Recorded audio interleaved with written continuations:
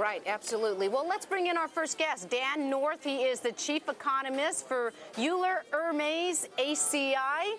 Dan's walking around the long way. Dan, there. how you doing? Welcome back to the show. Hi, good to see you again, Hi, Dan. Thanks for coming back. A lot of news going on today, even with this uh, slower volume trading with a lot of people on vacation. Uh, but we started off the day really tough. Well, we had the durable orders that we didn't talk about as well Right. for November. Uh, they were down seven tenths of a percent when the market was looking for it to be up almost three percent. And then you also had the assassination of the former prime minister uh, there in Pakistan. So a lot weighing on the market today. Not much good news today, for sure. The assassination, durable goods orders off. The uh, applications for mortgage volume uh, was down considerably.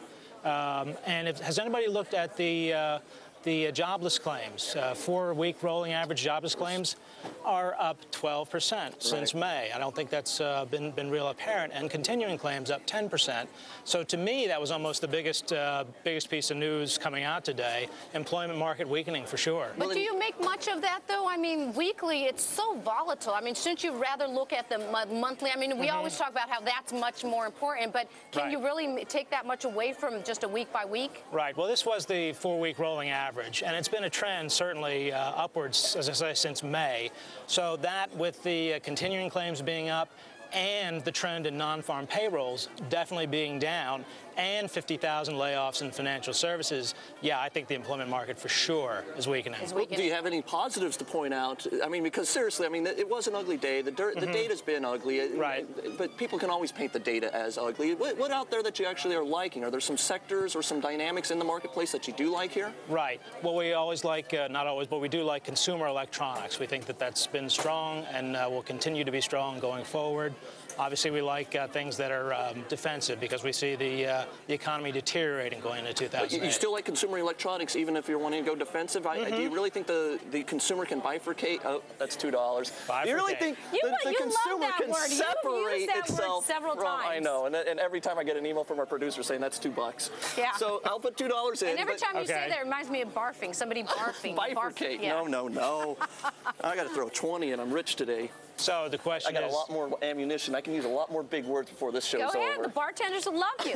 Go for it. Well, you got to pick a sector. and We still think that that sector is going to be okay. The consumer is really tough, and while we think the consumer is definitely pinched enough that it, they might actually drive the economy into recession, the economy, the uh, consumer always has credit cards. Yeah, they're being selective about where they spend their money. Um, well, let me ask you this: What do you think about financials? Because there's some people out there that think that financials may be a good buy because so many people For a trade, are, at least. For a Really? trade, at least, because so many people are negative on the financials. I don't know. I wouldn't touch it. I, I'm not. I'm not that much of a risk taker. That makes me a little more Yeah. bullish. Rebecca doesn't yeah, wanna touch he's it. definitely much more bullish than I am. But what's your well, take? well, there are three of us here, and two of us don't like the financials a lot. So, uh, Which is, guys, seriously though, viewers out there listening, I mean, this is, you want to buy when everyone else hates it. well, you wanna, we, we don't want to steal your thunder, but what is but I am saying, think? but Dan, you are saying you hate it, right? And I mean, sure, and the reason you got, is- you got Buffett saying he hates it, you got Dan saying he hates it, you got Rebecca saying they hate it. The reason, Who's reason- left to hate it? The reason I hate it is you don't know how bad it is. And it keeps getting worse and worse all the time. All of these uh, unknown uh, write downs keep coming out.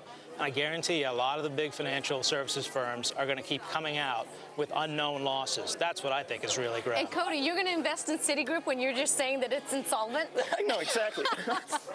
For the record, it's not an investment, though. It would be a trade. I would be looking at some slightly out of the money, near term calls, maybe four or eight weeks out, and just sort of try and play a trade here. If, the, if those stocks would pop 10, 20%, you'd make a lot of I'll money on tell some you out of what. money I'll calls. tell you what. You tell me when to get in and tell me when to get out. I'm telling you, today is the time to start getting in, and I'll let you know when it's time to get Okay. out. And I, by the way, I might tell you I was wrong, and you have to sell it anyway because you know what? I am wrong. Then you're going to give me my money back?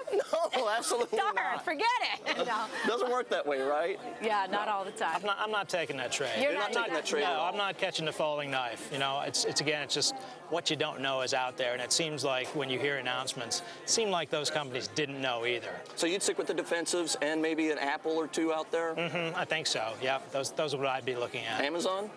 Uh, always a possibility, yeah. Um, again, we're relying on the consumer, but you might get electronics. I like the short. Amazon versus long Google, long Apple. Fair trade. Yeah, I, I couldn't comment on that either way. Dan, all right. Thanks Dan, we'll so see you back in- We'll in just Thank you a very little much. while. much. Appreciate it. And Co- Guys- Cody will elaborate on the whole financials part in a separate segment. I'll but talk it's about it later. interesting. It's no, a it really it's a- is it's a- another flip it. Let's yeah, put it that so way. Uh, email Cody and tell him what you think. What is it, Cody? Tell me how crazy Cody I am. foxbusiness.com. Cody at foxbusiness.com. Not a big news flash about my craziness Yeah, either. and I'm GoGo at foxbusiness.com. And include your city, uh, your name, of course, your city and state, and we'll uh, get to your emails. But on tap next, next? What do you got? On tap next, it's my flip it with one of my mentors, Scott Rothbort. Got